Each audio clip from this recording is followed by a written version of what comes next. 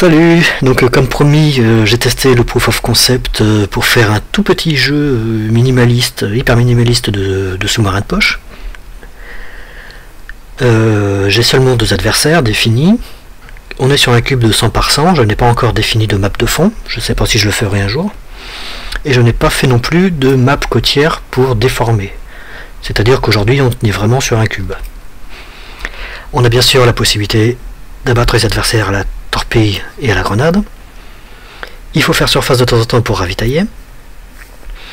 Euh, on a évidemment bah, les coordonnées euh, X, Y, Z, forcément. Euh, et pas mal de petites surprises en jeu. Et puis je me suis aussi amusé à faire un tout petit peu d'ASCII art. Alors voyez ce que ça donne. Voilà l'écran d'accueil, avec un joli petit sous-marin jaune. Donc là, je répète effectivement ma mission. On a deux adversaires, ta ta ta ta ta ta. Et maintenant, comment on fait? Donc là, je suis une profondeur 70 par exemple. Alors je vais remonter un petit peu. Voilà, là je suis à 61. Je vais changer de direction, aller un petit peu par là. Je vais lancer un écho. Pas d'écho. Bon, je peux lancer le radar, mais s'il n'y a pas d'écho, le radar ne sert à rien puisque le radar c'est la version short range, plus précise, mais qui ne sert à rien. Je vais donc continuer de bouger.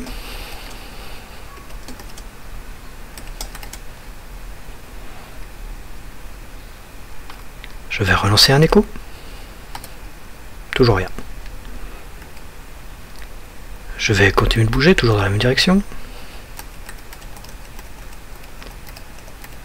Je monte plein nord pour l'instant. Oula, j'ai bientôt plus de fuel. Continue d'avancer. Je vais commencer à monter la surface.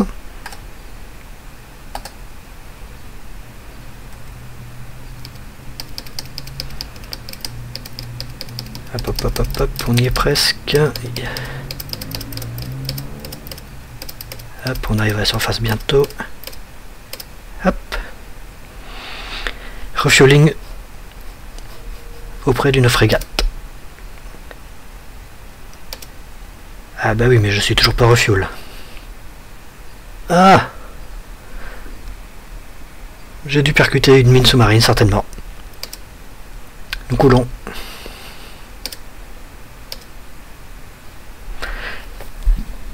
Donc voilà typiquement un des petits événements aléatoires qui peuvent arriver sur le jeu. Reprenons. Donc j'ai très peu de profondeur pour l'instant, donc remontons directement en surface. Très bien. On va rester en surface un moment, tiens. On va aller tout au nord de la carte. Ah, je suis coincé, je peux pas aller plus au nord. Donc on va aller à l'est. Bon, on va plonger un peu là, parce que en surface, je risque de me faire dégommer.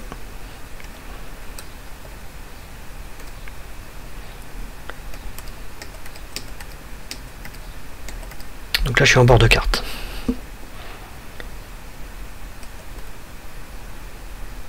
Je vais aller un petit peu au sud.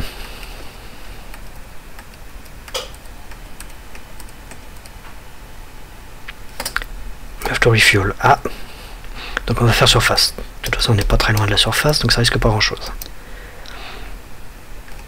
Hop, on repart en plongée. Donc on va partir vers le sud-ouest.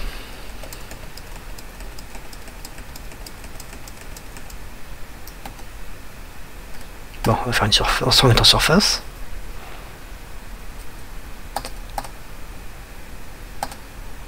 Ok.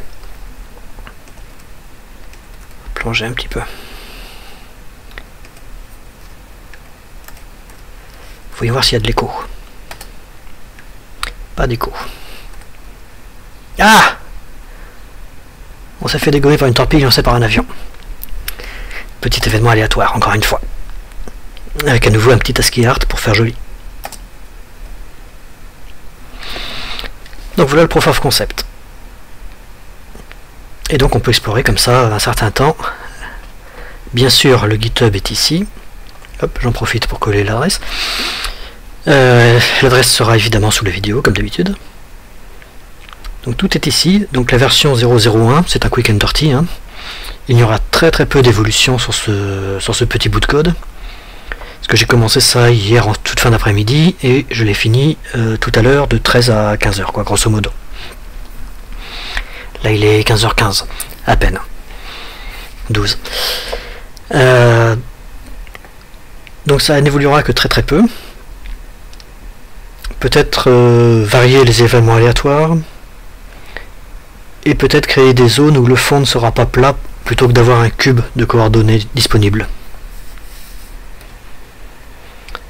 Et augmenter très certainement euh, la capacité de fuel, parce que c'est vrai que 99 ça oblige à remonter la surface beaucoup.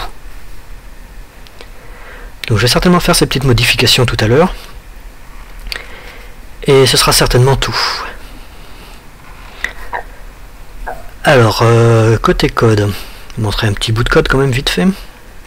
Expliquer deux trois bricoles. Alors il n'y a pas forcément grand chose à expliquer puisqu'en réalité je fais beaucoup ça.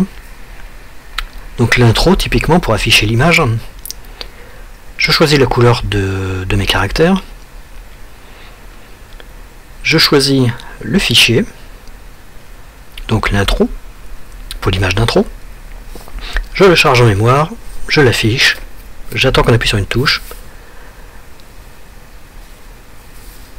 J'efface le tout, j'affiche l'aide en changeant de couleur, je reviens à la couleur par défaut, j'attends qu'on appuie sur une touche, et on démarre. Et en fait, tous les affichages des ASCII art fonctionnent un petit peu de cette façon-là.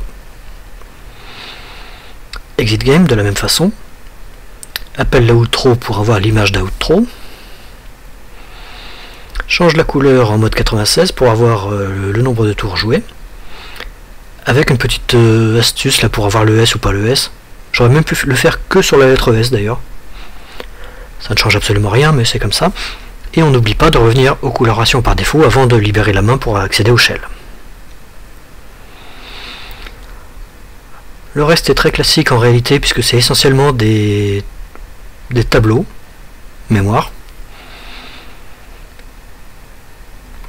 Typiquement, euh, par exemple celui-ci, qui tient compte pour les mouvements des lettres sur lesquelles on appuie, et qui permet donc de changer les coordonnées. Donc euh, player Y, player X player Z, ce sont les coordonnées de X, Y, Z, donc profondeur sur l'axe Z. Y, j'ai choisi l'axe nord-sud, et X, j'ai choisi l'axe est-ouest. Et la, même structure pour euh, les ordres que l'on peut donner. C'est-à-dire demander un écho, envoyer une grenade, changer de position, quitter le jeu, utiliser le radar, remonter à la surface pour euh, se ravitailler, et lancer une torpille. Donc c'est extrêmement simple, c'est extrêmement euh, minimaliste, comme je l'ai dit. Mais c'est tout ce dont j'ai besoin pour l'instant et tout ce que j'ai envie de faire pour l'instant. Le facteur aléatoire, il est très très simple. En fait, je fais un petit calcul sur les éléments time, Donc euh, de sorte à majorer les secondes. C'est pour ça que les secondes sont multipliées par la minute. Et que la date elle-même est seulement additionnée parce que quelqu'un qui va jouer 2-3 parties de suite aura forcément les secondes qui évoluent avec le temps. Et ça permet ça d'avoir un random seed qui est euh, propre. C'est-à-dire que le random seed est lui-même réinitialisé à, chaque exécution. Ce qui fait que lorsque j'appelle la commande random pour obtenir des aléas, en particulier pour la position de départ, je suis sûr et certain, et pour les éléments de. pour les actions aléatoires également, comme quand le, l'avion a lancé une torpille et que je me la suis pris, euh, je suis sûr d'avoir quelque chose de vraiment aléatoire.